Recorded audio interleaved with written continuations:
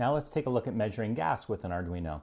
It's surprisingly easy when you use something like this MICS 5524 sensor and breakout board. Now this sensor can measure things like CO, ammonia, ethanol, methane, propane, bleed butane. There's quite a few different gases it can measure. The specs are actually on the back of this and the product page.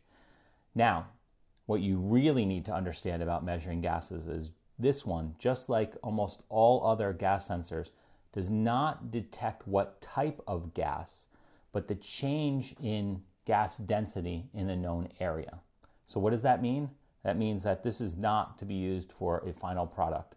This is not to be used for biomedical. It's not to be used for safety. This is not something you want to put in any area that relies on the detection of a toxic or flammable gas mixture to save your life or really do anything. This is for experimenting purposes only.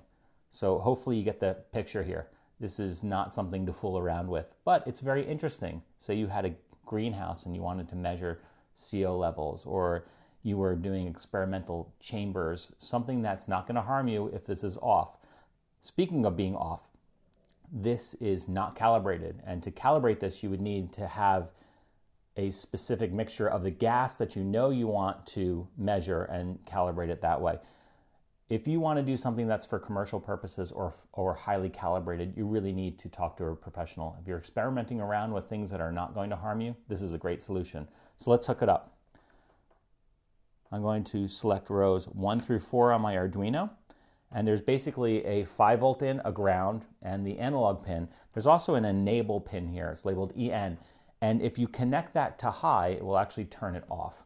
So we are not going to connect that one for this purpose. Let's connect up ground. There we go to the Arduino ground pin. We'll connect the 5 volt to our 5 volt pin and the analog 0 to analog 0. And that's it. We'll take a look at the code and we'll look at it visualized in the serial monitor. Keep in mind that when this first starts up, it uses a small heater, so we should allow a few seconds for it to get up to temperature and be ready to work. So let's load up Arduino and see how it goes.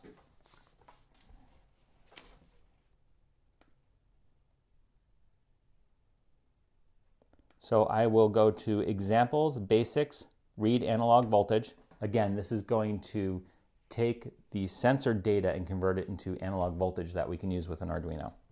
So all we need to do is read the voltages coming in on analog zero.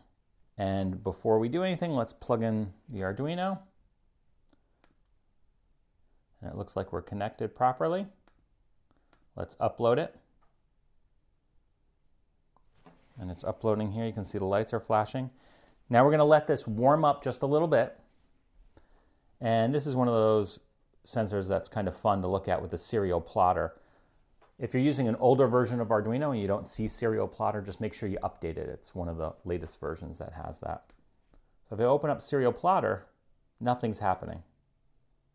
And that's probably a good thing. There's no gases to detect, and it's also taking a base reading of what gases are here. Again, it has no idea what type of gas it's measuring, whether it's toxic or any, any attribute of the gas. But what I saw was this handy dandy air freshener contains ammonium, ethanol, a whole bunch of interesting chemicals. Let's spray this in a cup. And now I'm going to pour this over the sensor and let's look at the plotter. You see that? It's going up and down as it dissipates. We're almost back to zero. So as you can see, it was able to detect the gases that were in this cup. What type of gases, we don't know, and how much, we also don't know. We just know that there was a change in the amount of gas that was in the current atmosphere.